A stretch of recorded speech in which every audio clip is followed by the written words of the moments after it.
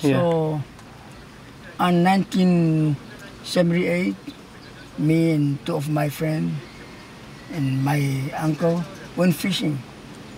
And we, my uncle speared a dugong. So we tried to pull the dugong to the, close to the boat. And finally, the mother came and started fighting with the, the spear.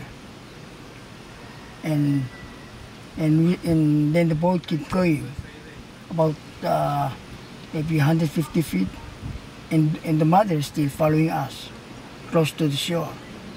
So we all scared, and we got we got uh, a string from the spear, and they ran away. We let the dugong, but we know that dugong died after the he got speared. Yeah, And it was nighttime, yeah? it was nighttime, around nine o'clock. Then everybody uh, will feel sad, so we didn't go fishing.